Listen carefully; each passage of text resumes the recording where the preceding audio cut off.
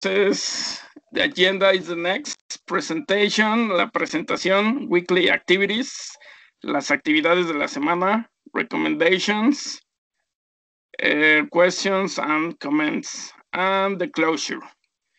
Sí, entonces, bueno, la presentación es esta. Eh, vamos a ver las actividades de la semana, las recomendaciones y al final las dudas y comentarios que ustedes puedan tener sobre esta segunda semana. Ajá. Entonces, vamos a ver eh,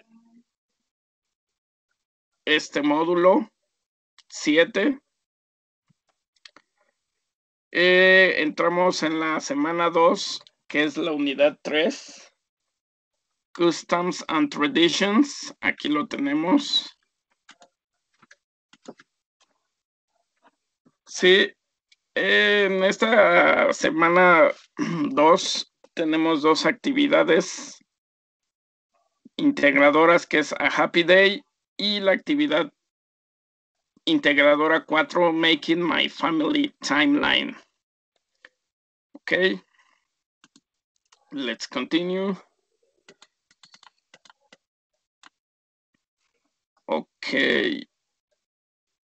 See, and so in this uh, second week, en esta segunda semana, estas dos actividades eh, tenemos que son de un 7% cada una. En esta ocasión no hay habilidades socioemocionales. Sí, vamos a las actividades de la semana como tal.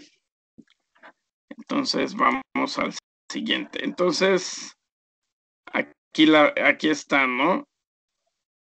Estas dos son las actividades de la semana. Happy Day, Making My Family Timeline. Sí, recordándoles que los, los recursos que ustedes tienen aquí les van a servir para responder a las actividades. Entonces, si nos fijamos, aquí dice our past, nuestro pasado, auxiliar did, eh, verb to be in past, used to. Entonces, las actividades de esta semana, lo que van a estar viendo es el pasado, cómo formar el pasado. Sí, bien importante, se lo repito, es revisar los recursos y, y si pueden hacer los ejercicios de práctica, sirven de mucho. Sí, una vez que hagan los ejercicios de práctica, contestar las, las actividades tal cual les van a hacer, eh, les van a ahorrar mucho tiempo y les van a facilitar eh, su, sus respuestas. Entonces, vamos a la actividad 1. Déjenme nada más ver si, si se está grabando. Okay.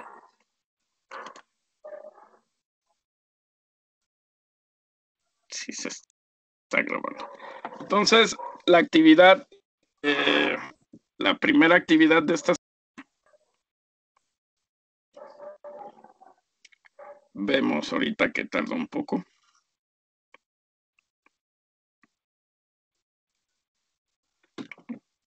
Aquí está. Perdón. A Happy Day. Sí, entonces, si se fijan aquí, tienen que describir una situación ¿Qué ocurrió en el no los dice, ¿no? Tienen que utilizar el estado. Tanto de forma escrita como oral. Ser que tienen que enviar eh, su video. Entonces, aquí está, esto ya lo saben. Entonces, van a entregar un documento redactado en un procesador de textos con la historia ocurrida en el pasado. y aunado a eso un archivo de audio con la lectura de los párrafos descritos. Entonces ya saben, le dan aquí en a happy day y, les va a aparecer la actividad, ¿no? Aquí la tenemos. Ahorita me voy a ir a los ejemplos. Sí, remember the happy days of your life. A ver, por favor, por ahí apaguen su micrófono, por favor. Sí, a ver, por favor, apaguen su micrófono por ahí que lo tenga encendido. Por favor. A ver, eh, por ahí hay alguien que tiene su micrófono encendido, por favor, apáguelo. A ver, silencio, por favor. Ok. The happiest day of your life. Por favor, apaguen el micrófono. Entonces, aquí les pide que describan el día más feliz de su vida. Esto a veces es difícil. ¿Por qué? Porque, bueno, todos tenemos no nada más un día feliz. Entonces, luego se le dan muchas vueltas al asunto y para ver cuál es el día más feliz de su vida, acuérdense que es para practicar el idioma. No tiene que ser algo real, puede ser algo este, inventado, pero que utilicen lo que se les pide. Entonces, de pronto he recibido algunos trabajos en donde me dicen, no, pues es que yo tengo dos hijos y no sé cuál fue el día más feliz de mi vida. Sí, les recomiendo que elijan alguno de, de sus dos hijos. Yo sé que los dos los quieren y todo, pero recuerden, es una actividad, no es algo que, pues, que les vaya a afectar en, el, en sus sentimientos ni nada, ¿no? Entonces, no se compliquen, elijan solamente un día ¿sí? Y aquí viene lo importante. Write about what happened. Escriban acerca de lo que pasó. Use the verb tenses you have practiced through the English module. Tienen que eh, usar estos, el simple, el simple present, present continuous, past continuous, and simple past. Los más importantes son estos dos últimos, el pasado y el, continuo y el pasado simple. Entonces, pero también si pueden poner algo en simple present, en present continuous, está mejor. Entonces, aquí les da, consider the following questions as a reference to elaborate your paragraph. Entonces, tienen que considerar estas eh, preguntas para hacer su párrafo. Sí, de hecho lo pueden dejar nada más contestando las preguntas o si quieren al final unirlo. Yo aquí les mandé un ejemplo. Me voy a ir a eso. Aquí ver el ejemplo que les mandé, que es algo que pues no me sucedió, pero como les digo, pueden inventar ustedes algo que, que consideren el día más feliz de su vida, ¿no? Ajá. Eh, eh, les recomiendo que sea algo reciente, que se acuerden y sobre todo utilicen el sí paz y el paz continuo. Sí, entonces, bueno, aquí voy a agarrar un ejemplo. Sí, bueno, este es otro. Nos vamos arriba. Aquí está, ¿no? Como le lo tienen ustedes en la yo se los he mandado, entonces ahí es para que lo puedan, perdón, para que lo puedan este, usar de guía. Entonces aquí está Simple Present in yellow, en amarillo, Present Continuous in light eh, blue, en azul clarito, Pass Continuous in green, en verde, y Simple Pass en deep blue. Ajá, entonces estos dos el, el verde y el azul son los más importantes para la actividad. Entonces aquí está primero, what was the happiest day of your life? When I was promoted in my job. Ajá. Entonces, si se fijan, aquí los, los subrayé en azul porque estoy utilizando el pasado simple. ¿Sí? Entonces, cuando yo fui eh, ascendido en mi trabajo. Le recuerdo que en inglés mm, sí se puede omitir el, el sustantivo ajá, o el pronombre. Sin embargo, son condiciones muy especiales, entonces ustedes tienen que poner siempre el pronombre. When I was promoted in my job. ¿Sí? Cuando yo fui ascendido en mi trabajo. Entonces, eh, piénsenlo así en inglés, en español, para que a la hora de que lo escriban, no se les olvide el pronombre. Ajá. Les recuerdo también que hay, yo en inglés, siempre ven mayúsculas, siempre. No importa dónde esté ubicado en la oración, siempre va a ir en mayúscula. Ok. What happened? ¿Qué sucedió? After, after five years of hard work, I got a promotion. I mayúscula, got a promotion. Aquí got, es pasado simple. Simple past. ¿Sí? Sin embargo, aquí la peculiaridad es que es un verbo irregular. Entonces, el presente es get. Bueno, aquí was también es irregular, perdón, ¿no? Entonces, el presente es get, el pasado es got. Entonces, ojo con los verbos irregulares. Por ahí también hay una listita que les mandé de los más usados. Déjenme ver si sí, Aquí está, ¿no?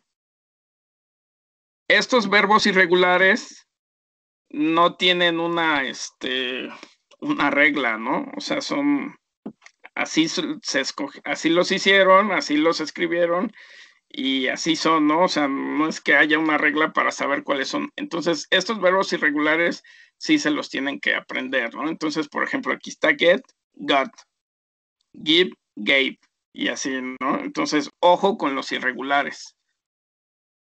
Aquí los, los regulares, acuérdense que nada más les añaden ed y ya lo, lo forman. Entonces, también tienen que echarle un ojo a esto, ¿no? En este ejemplo, si se fijan, aquí hay este, pues de cierta manera, este ejemplo sería para el día más feliz de su vida, ¿no?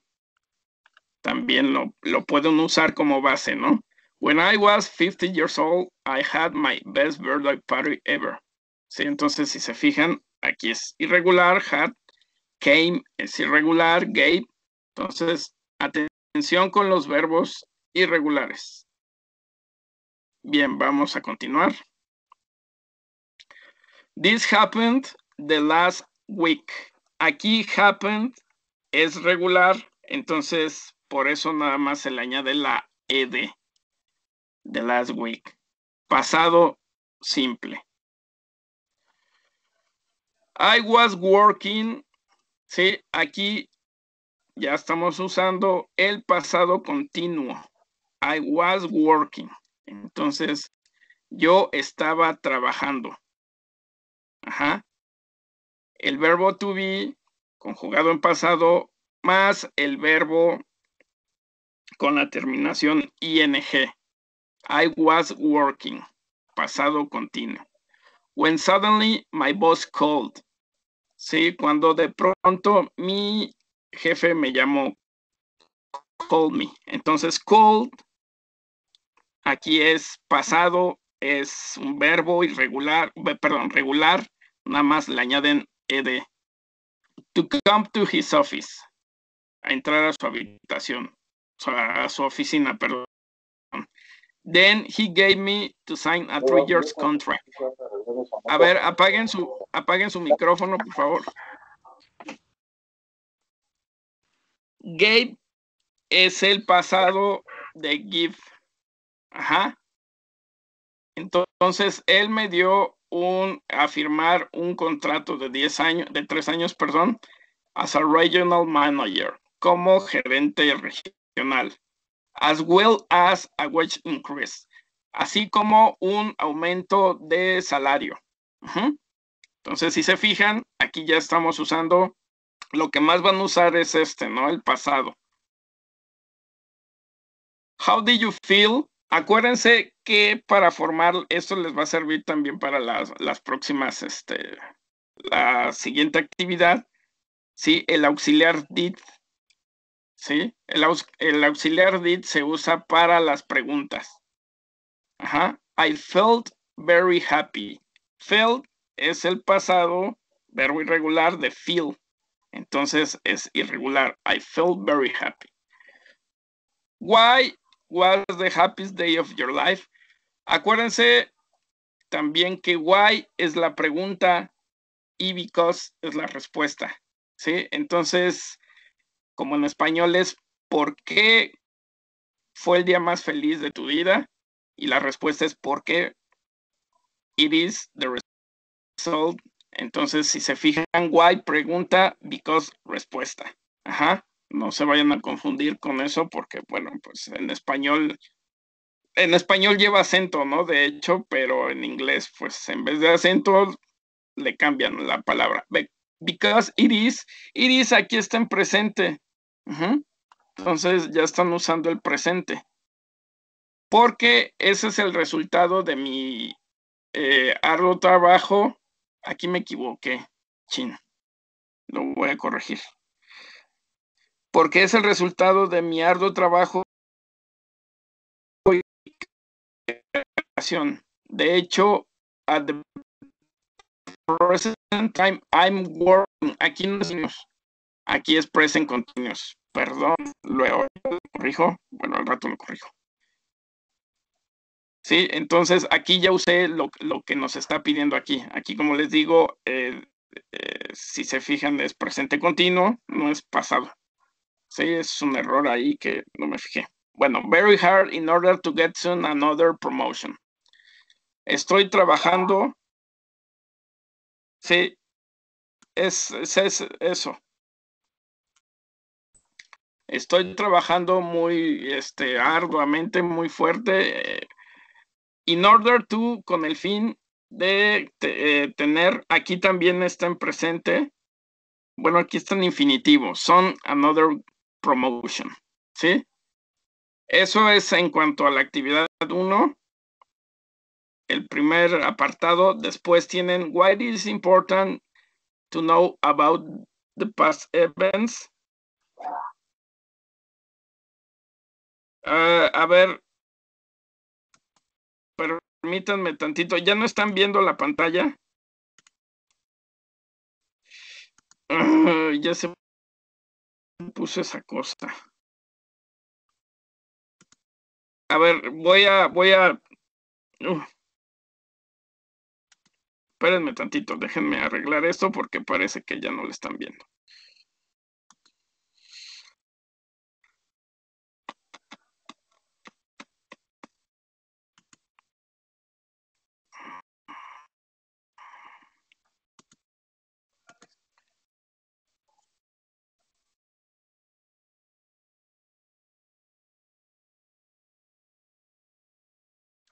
Bien, ven la pantalla. Por favor, escríbanme si ya ven la pantalla.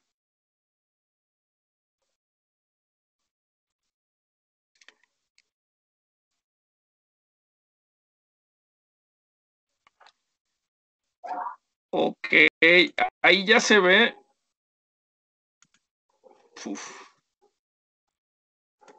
Ahí ya la ven o todavía no. Ya, es que ya le...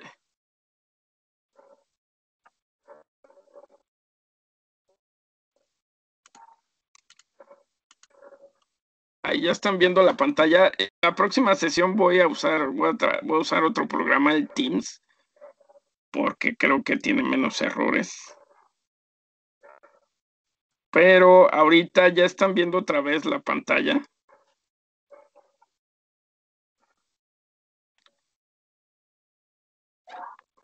Oh, qué bueno.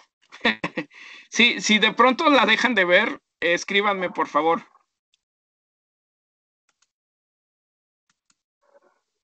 Sí, entonces aquí tienen que escribir eh, eh, por qué es importante, según su punto de vista, saber eh, acerca del pasado, ¿no? Entonces, por ejemplo, yo aquí escribí because we are interested in what produces an event in order to, porque nosotros estamos eh, interesados en saber qué produce un evento eh,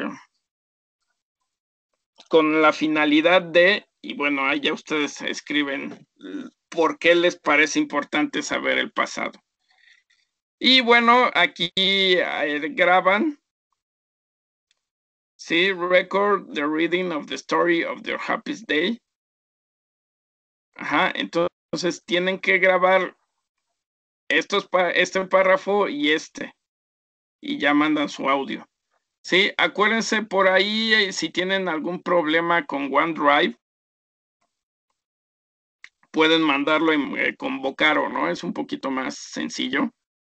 Ahí también les mandé esa aplicación, ¿no? Vamos a la segunda unidad de semana. Tienen que escribir en, la, en el chart este, tienen que escribir 10 preguntas en español y en inglés. Sí, ojo con esto porque son las, o sea, tienen que escribir la misma pregunta en español y en inglés y después la respuesta igual en español, en inglés. Ajá.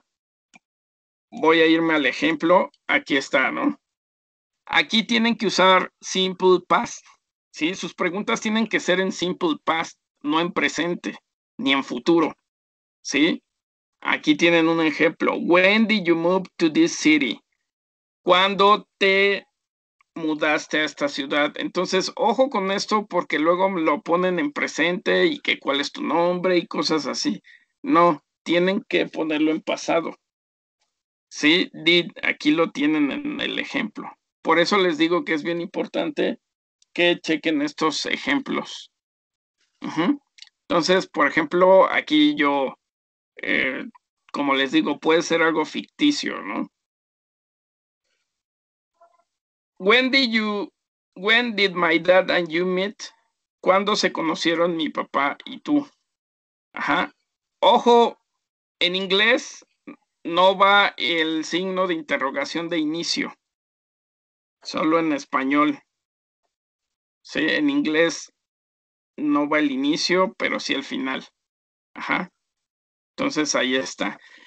Si se fijan, aquí la, la segunda y la tercera pregunta nada más cambio when por where y por how. O pueden hacer lo mismo, ¿sí? Entonces, where did you, where did my dad and you meet?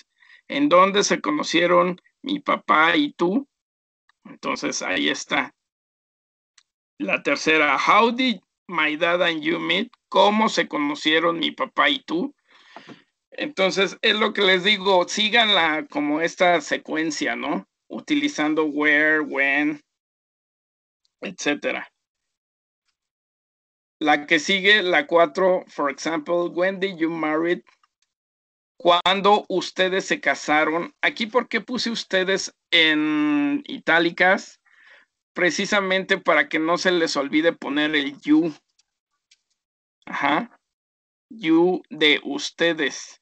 Y no pongan they porque cuando lo traducen, es lo que les digo, no les, les cambia el contexto. Entonces, si ustedes de pronto ponen ustedes y usan el traductor que les he recomendado que no lo usen tanto, les va a salir you y no they. Ajá. Porque si de pronto en el traductor le ponen cuándo se, cuando se casaron sin el ustedes, les va a salir they y así lo ponen y está mal porque es ustedes, no ellos. Entonces, be careful with that. Where did you marry? ¿Dónde se casaron? ¿Dónde ustedes se casaron? Entonces, si se fijan, es la misma, pero nada más le cambia el when por where. Y bueno, ya ahí se siguen con la 6, la 7, la 8, la 9, la 10. Ok, entonces ya hicieron aquí sus 10 preguntas con su traducción al español, aquí mismo, y aquí ponen la respuesta. ¿Sí? Perdón. Entonces, I met your dad in 1975. Sí, yo conocí a tu papá en 1965. Le recuerdo, aquí nosotros decimos conocí a tu papá y le quitamos el pronombre. Acostúmbrense a usar el pronombre para que no se les olvide que en inglés lo tienen que usar. Aquí hay otro errorcito, ya vi. We met in Cuernavaca. Nosotros nos conocimos en Cuernavaca, ¿sí? Generalmente decimos nos conocimos en Cuernavaca y quitamos el nosotros. Number three, la number three es how did you meet? It is funny because we meet at a wedding. Es gracioso porque nosotros nos conocimos en una boda. Entonces, si se fijan aquí, meet es diferente porque nada más le quitan una E porque es un verbo irregular. We got married in 1968.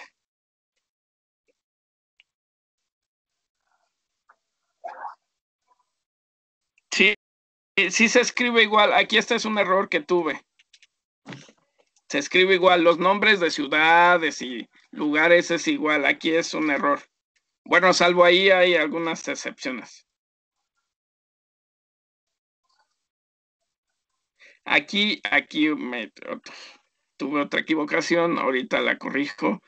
We got married in 1978. Nosotros nos, aquí debe decir casamos, no conocimos. Entonces, eso ahorita lo corrijo. Sí. Also, we live in Mexico City we got married in Cuernavaca. A pesar de que vivíamos en México, en la Ciudad de México, no sé por qué lo pongo en inglés, nos casamos en Cuernavaca. Entonces, be careful, ¿no? Sí, yo sé que ustedes, como yo, también cometen errores como estos de, de una E y eso, ¿no? No, hay problema. Ok, aquí entonces, después hacen su timeline, hacen su línea de tiempo. Aquí la línea de tiempo le tienen que poner, eh, este, por ejemplo, nos conocimos en 1965 y luego en inglés. Sí, de repente ya se, se traba uno. en inglés, ¿no? Le ponen aquí en 1900 nos conocimos. En inglés, we met in 1965. Eh, después, we got married in 1978. Así, ¿no? Pero en inglés, o sea, no, no tienen que usar, por qué usar el español. Ok.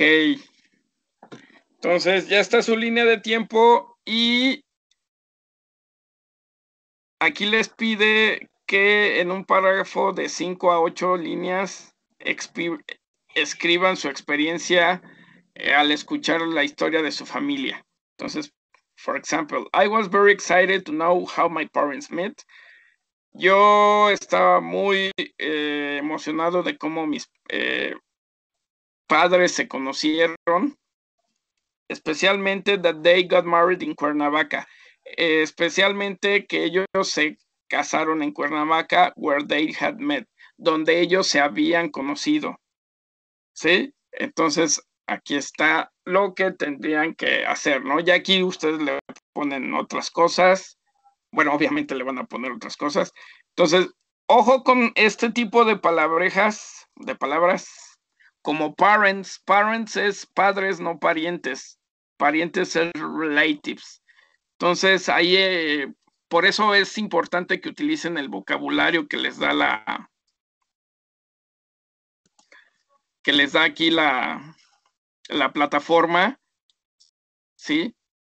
Para que no presenten esos errorcillos, ¿no? De pronto de, de, confundir palabras como parents con, este, con parientes, que se les llama falsos cognados. Ajá. Entonces, usen este vocabulario. Aquí, si se fijan, también tienen verbos regulares y los verbos irregulares. Ajá.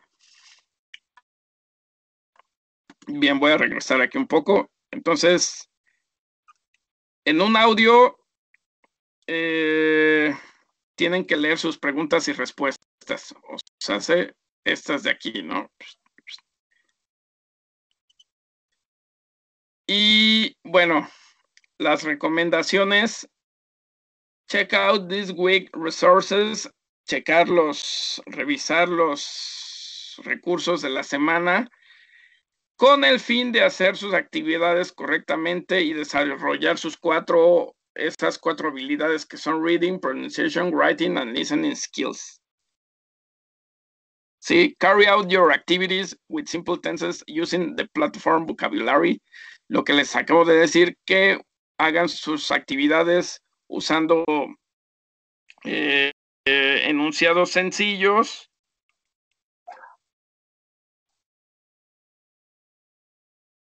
Eh, ahorita voy con la respuesta, solo las de inglés y español.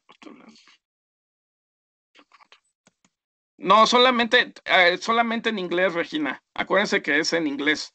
Sí, las de español no las, o sea, ustedes, ah, todo lo que es en inglés, eso es en audio. ¿Sí? The la, eh, so avoid using expressions that you don't that you do not master, no utilicen expresiones que no sean, este, que no las dominen. Entonces, váyanse con un vocabulario sencillo. Perdón. Y Sí, ah, dan la, pregunta y la respuesta, este, Lupita, en inglés, please. Eh, y recuerden que en otro, en otro, perdón, que el otro idioma no se expresa de igual manera que en español, ¿no? Entonces hay muchas cosas que no existen en, en, en inglés, así como las tenemos en español, ¿no? Bueno, aquí entre otras recomendaciones es que tienen que tener en mente que hay este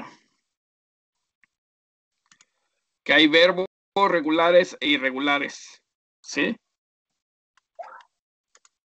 Entonces, aquí está. Verbos regulares y estos son los irregulares que no tienen una, este, pues una regla para cómo escribirlos. Entonces, si se fijan, todo lo he puesto aquí, ¿no? En, el en la plataforma. For example, me and my, ¿sí? Me se utiliza como objeto o como preposición. Ajá.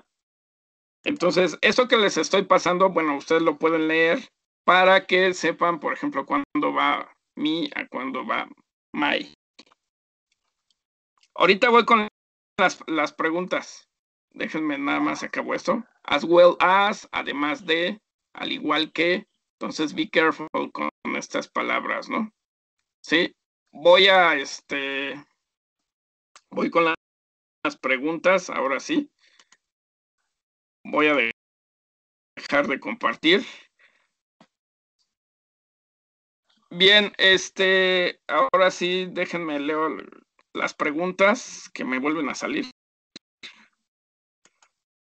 Por favor, entonces si tienen eh, alguna otra pregunta aparte de las que ya me hicieron. Mm, es que no, esto como que va retrasado. Ya, ya había contestado eso. ¿Cómo quito esto? No se quita. Bien, ahí Regina estoy. En la actividad integradora 3.1 se tiene que dejar las preguntas que... Eh, puedes dejar las preguntas, este, Vianey, o hacer el párrafo como tú gustes. Sí, o sea, no hay problema si nada más hacer las preguntas. Sí, y solo dejas el párrafo, ¿no? Las de los puntos 3 y 4 igual en audio. Así es.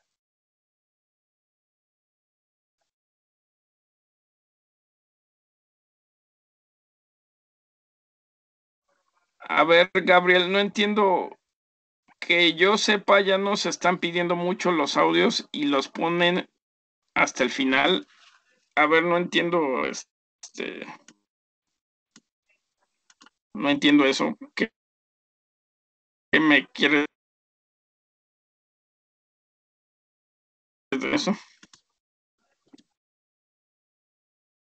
Si los audios son, o sea, en todas las actividades va a haber audios. Ajá. Y es el último punto, ¿no? O sea, aquí se los, si se fijan, no, no, a lo mejor no se los puse en los ejemplos, pero sí vienen en, en un formato que descargan. En el formato vienen